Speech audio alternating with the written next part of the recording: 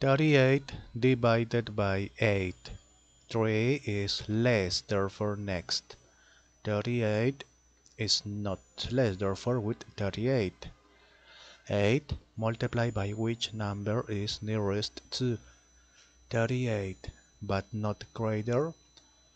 8 multiplied by 5 is greater. 8 multiplied by 4 32 is not greater okay subtract.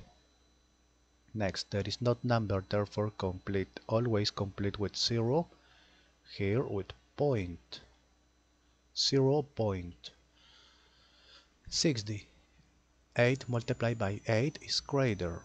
Multiplied by 7 56 is not greater. Okay subtract 4 complete 0 0.40 8 multiplied by 5 40 subtract 0 0 therefore finish it 38 divided by 8 is here. Okay